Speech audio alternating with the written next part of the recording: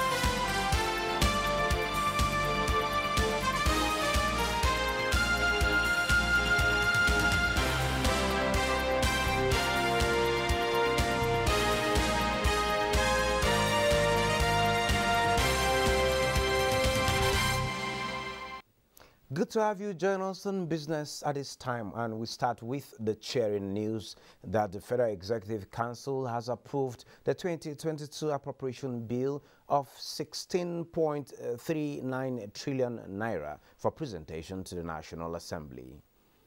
Also approved are the changes made on the 2022 to 2024 medium-term expenditure framework to formally accommodate provisions of the Petroleum Industry Act.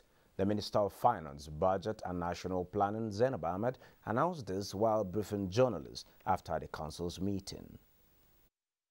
Assumptions and targets that we submitted to Council and Council noted uh, and approved is that we'll be pricing oil at $57 per barrel, that there will be an oil production of 1.88 million barrels per day, the exchange rate will be 410 naira, 15 kobo to one US dollar, and that the total oil revenue will be 315 trillion naira, while total non-oil revenue will be 2.13 uh, trillion. Federal government independent revenue will be 1.82 trillion. Total federal government revenue will be 10.13 trillion for the 2022 budget period. Similarly, the 2022 to 2024 uh, medium-term expenditure framework and fiscal strategy paper previously passed by the National Assembly did not accommodate fiscal provisions of the Petroleum Industry Act. This is coming from the executive arm of government, which presented a revised version to the legislators less than 24 hours it was presented. The Senate has passed the revised 2022 to 2024 medium-term expenditure framework and fiscal strategy paper. Formally present the 2022 appropriation bill to the joint session of the National Assembly. Please accept the single Senate President the assurances of my highest regards as I look forward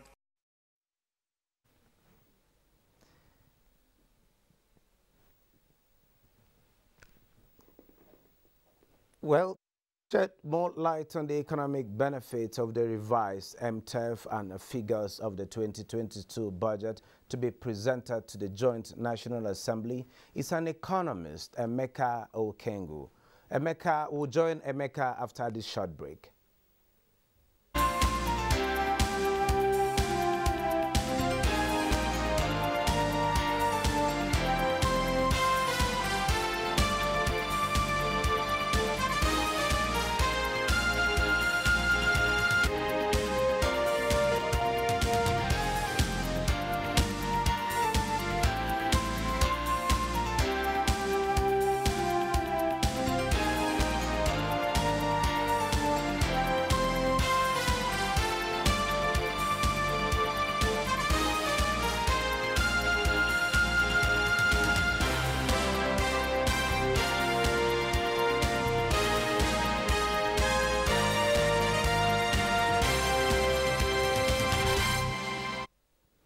Well, I have with me in the studio Dr. Emeka a development economist. And together we will be talking of uh, the proposed 2022 budget that is going to be presented any moment from now by Mr. President to the National Assembly and also the approval of the MTEF 2022 to 2024. Sir, you're welcome to Business. Pleasure Express. to be here, Benny. Good to see you again. Well, it's been a while. Yeah. Well, what do you make of the MTEF and the revised rates? Well, it's not any introduction. Uh, uh, emanates from what you call the fiscal strategy paper, okay, which now guides what's the MTEF. It's a review, uh, is, is what you call the uh, medium-term expenditure framework, okay, that now reviews yeah, in a mid-term on a three-year basis what, what it is you want to do, how it is you've done it, and then, you know, set, set these fiscal regimes going forward. Okay, especially how you now want to conduct uh, the business of your national budget.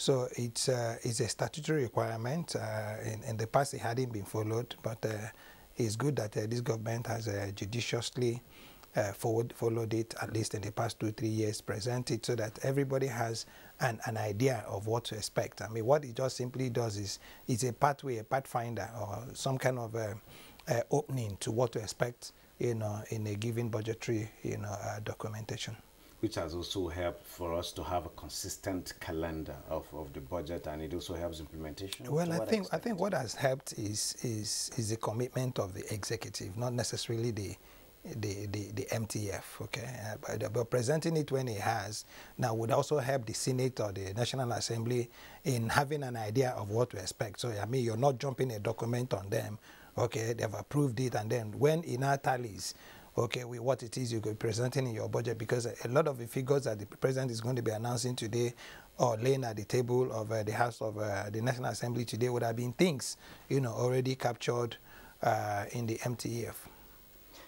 Okay, sir. The coronavirus uh, pandemic came with its effects, uh, which has actually affected businesses and governments globally, not yeah. just a Nigerian yeah. situation. Yeah. And in such situations, to recover as quickly as we should, which we are trying, means more money into the system. And we've had a monetary and fiscal policies by the CBN mm. being consistent over this period yeah. to support this particular growth. Mm. Now, the figures that mm. are coming up, the figures we're expecting, mm. or the figures we have mm. now for mm. the 2022 budget, the proposed yeah. budget, it's an increase from yeah. the previous one, which goes to say we need more money. But this also comes with borrowing. Are we borrowing uh, too much? Are we borrowing? Well, borrowing okay? well, again, let, us let's, let's establish you know a given. Uh, the budget is not a funding program. Okay, the budget is what it is, a financial plan that you have cast in figures. And uh, your funding program now determines or is now determined by your revenue. Okay, so uh, what the budget simply does is to be able to open up you know, the windows to say, okay, this is what we're expecting, this is what we want to do. We're expecting in a revenue projection of 10 trillion and then probably a borrowing of about five to something trillion, uh, five to six trillion. Okay, but then if, if government earns more than 10 trillion, it would not be needing to borrow as much as 6 trillion. This is why what you're looking at is a financial plan. But if it doesn't earn up to 10 trillion, which is a possibility, in fact, the possibility of not earning that 10 trillion is on the higher side than earning than over, 10, over 10 trillion. Okay. And if you look at the MTF paper, uh, it, it, focused, I mean, from the first line of that MTF paper, it kept talking about the effects of the coronavirus and what it is is done. Which is clear. Uh, which is very clear. Uh, but for me, I think uh, I wouldn't want us to dwell on how much we're borrowing, are we over borrowing? If we okay, but the question each time people bring this argument, the question I ask is if we don't borrow, what else do we can we do?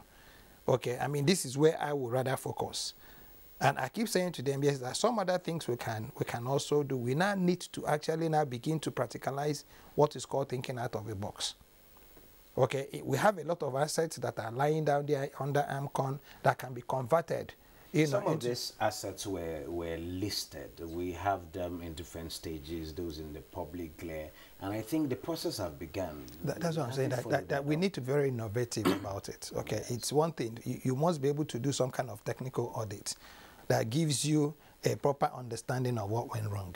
And he found out that a lot of these assets, I mean, it wasn't as if they were in high yield assets. They were just mismanaged. A, lot of the times, it was just a question of wrong management or corruption or maladministration or something. So if we're able to now know that it's not, and again, each time we talk about this national budget, uh, everybody seems to think that we're talking about 16 trillion for the whole of Nigeria. That's also not very correct. okay, uh, we are talking about 16 trillion for the federal government of Nigeria. Remember the subnationals have a role to play. No, no, the, the subnationals have their own budgets. Yes. So that any day you want us to discuss the Nigerian budget, okay, because we are talking about the national budget. If you want us to discuss the Nigerian budget, then we must find a way of aggregating the budgets of the subnationals and the budget of the national for us to be able to have to this have figure. A collective now, that, that's one. Two, nation. you also mentioned that we are going to be having more money. Now, if you just oppose 16 trillion against the official exchange or not official exchange now because I live in the official exchange at about 4.10. Yeah. But you find out that it's difficult, you know, for that to apply. That. Really, okay? So if you if you if you if you if you use the popular parlance, you know, what the street is is trading at, okay, which is where the real market is, you know, and you just oppose that figure against 16 trillion, you might find out that actually the 3 trillion might be less in value than the 13 trillion we had in the last budget. Okay, because I mean, we're part of this global economy and we haven't gotten to that point where we've been able to strengthen our Naira to a point where it can now begin to actually sit proudly, you know, at the table of the Committee of Nations. And I'm sure you're going to bring in this, okay, everybody says it's productivity. Now, this is where the catch-22 comes. This is where the chicken and egg situation now arises. Now, some in, in, in, all of this analysis, what are your expectations by the time this uh, paper or this budget is laid at the National Assembly? My, my, my, my, my, expectations is that I want us to be a little bit more artistic and innovative in implementing the budget. And for once, I'm, I'm, I'm thinking that we should not focus on the national budget. That's the, that's the argument I'm trying to present. Yeah. We should all come together now, okay? Because if you look at agriculture that has uh, just 98 billion, from the national budget. Okay, and everybody says that agriculture is the pathway out of this. And you're getting INEC to have a hundred billion. All right, yes, the electoral process is important, very important for us to be able to sustain our democratic, yeah. you know, uh, regimes or uh, uh, structures. But, but, but, but, what is also as important is that, you know, it, it's, it's no longer, we must be able to now separate uh, what you call social infrastructure from critical infrastructure. And then make certain that we now focus on that social infrastructure, which is why anytime you get on a program, they, they, they say, but we are not feeling this effect. Okay, we're growing at 5%, uh, but are the people in the street, how, how are they feeling it? Now, the only reasons why they're not feeling it is because people are going to bed hungry. Hear me? That is the most important test, okay, of good living, food. Something okay, that elementary. to talk about these areas of budget we should be looking out to. There's this World Bank uh, report uh, that titled Steering Tertiary Education uh, Towards Resilient Systems that Deliver for All, where 74% global growth of youth population aged between 18 and 23 will be majorly in Nigeria mm -hmm. and nine other countries mm -hmm. from uh, 2015 to 2035. What are your expectations? How can we engage this age you, group to ensure they don't become a, a liability? You've just gotten it. Everybody has a television station in Nigeria. Everyone who has a phone has a channel. And you can actually earn a lot of money, you know, from just doing this YouTube, uh, depend, depend on your followership. So it's no longer about this formal education. That's why I keep using the word that we need to be innovative. We need to be more creative to be able to engage this youth. And a lot of the things you're doing now, fashion, marketing, trading, everything is online.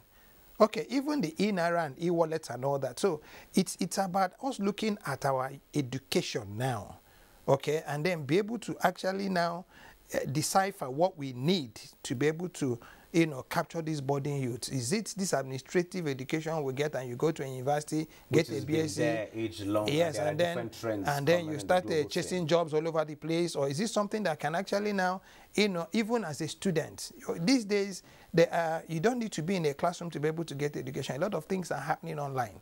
Okay, now, so we need to start looking at such infrastructure to now make certain because, I mean, there's this uh, friend of mine who wants to train the uh, the PA in some online uh, thing, and I, I was listening to that conversation in my office yesterday, and then he was telling the boss that I would I would love I would have I would have loved to do this online, but some of the times I get online, I get cut off, I don't have data, it's too expensive, the network is not clear, and all that and all that. 5G is coming on board soon. eh? Well, it, it doesn't have to be a 5G thing. The 4G is adequate.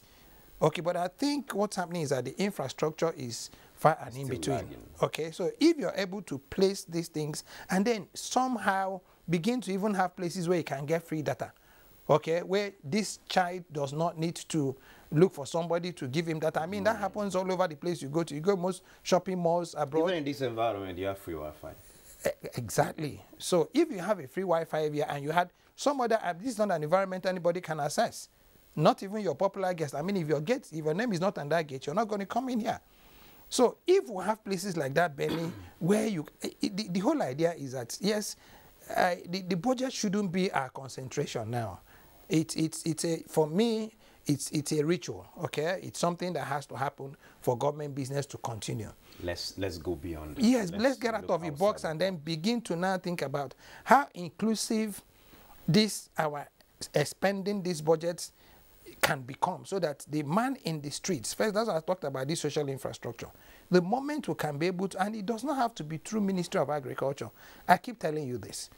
Okay food production is necessarily a technology based thing. It's not an agri it's not a land based thing.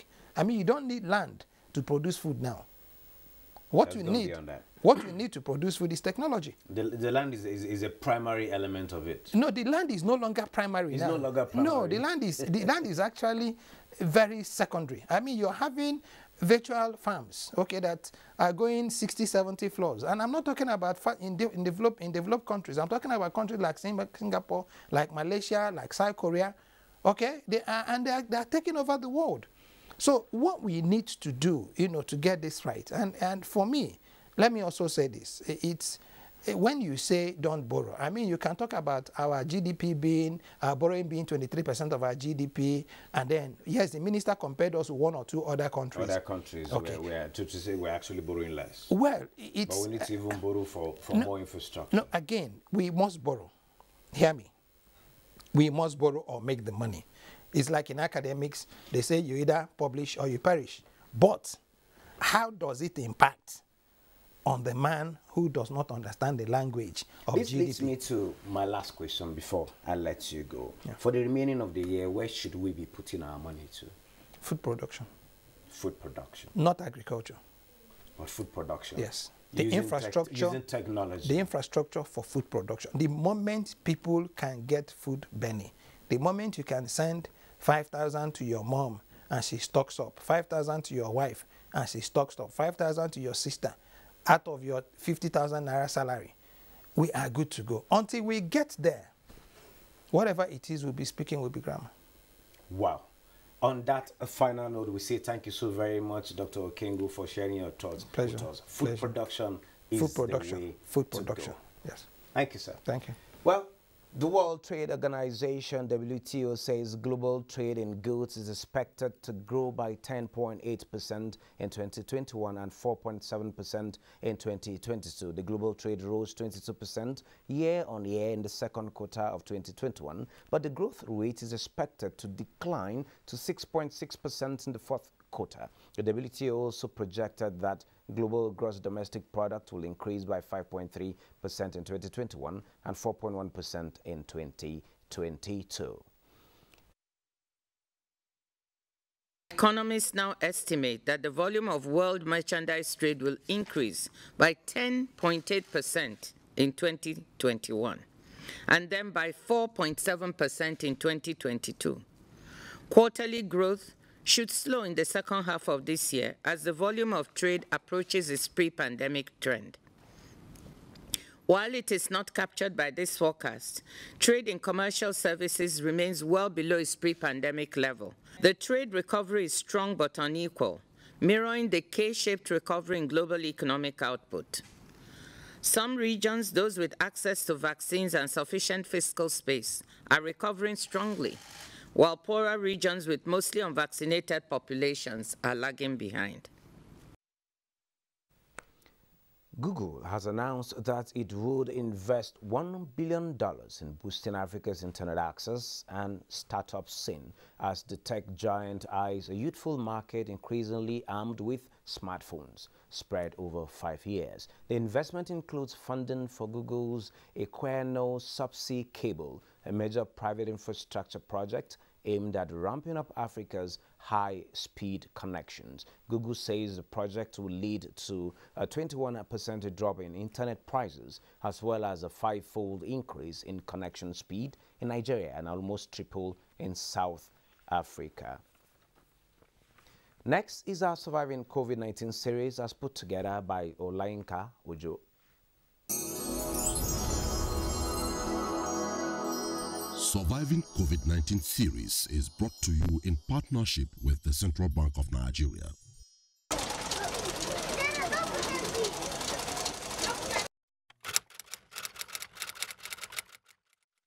Knowing the condition of Nigeria, there is no job outside. So I'm very, very happy doing my tailoring job because the profits part it's it's it's encouraging and there is there is nothing like being your self um, boss, being self-employed.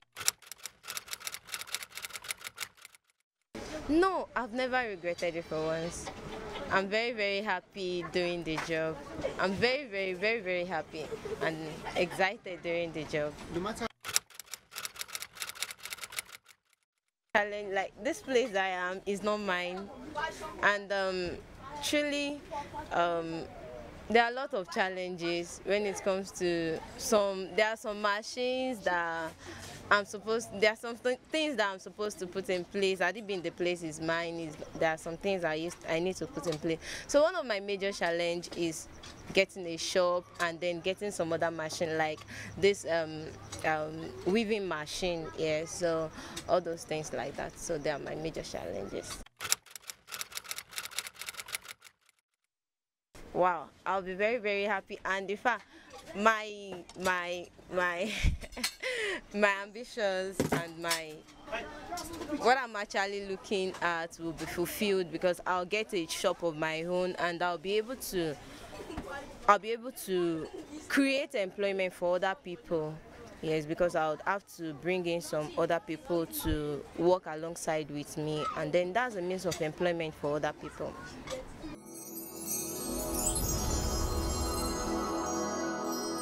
Surviving COVID 19 series is brought to you in partnership with the Central Bank of Nigeria. Shares in Asia Pacific rose on Thursday trade with Hong Kong stocks leading gains. Global sentiment turned positive after the benchmark US 10 year Treasury yield withdrew from more than three months' highs on Wednesday, and US stocks staged a comeback from their lows. US stock futures edged higher Thursday after Dow Jones Industrial Average reclaimed a 459 point loss. Dow Jones Industrial Average futures rose 181 points. S&P 500 and Nasdaq 100 futures also in positive territory. European stocks rebounded on Thursday, continuing a week that has seen a wild swings in global market sentiment and trading. The high open for Europe on Thursday continues a trend of wild trading swings already seen in October. Shares in Asia Pacific rose in Thursday trade with Hong Kong stocks leading gains gains. The Hang Seng Index in Hong Kong jumped 2.41%. The Nikkei 225 in Japan rose 0.93%, and the Shanghai Composite also topped 0.9% at 3,568.17. For Africa, Namibia's overall index and South Africa's JSE Africa Top 40 resumed Thursday's trade on a positive note, while other stocks are still maintaining previous figures. Boss said the Able Business Express. This is where we end this edition of Business Express. We value your feedback, so keep the comments, observations, and suggestions coming. Be informed that all previous episodes are available on YouTube on NTA's channel. Business Express returns Friday at 3 p.m. I am Benny Adams saying, keep thinking and doing business.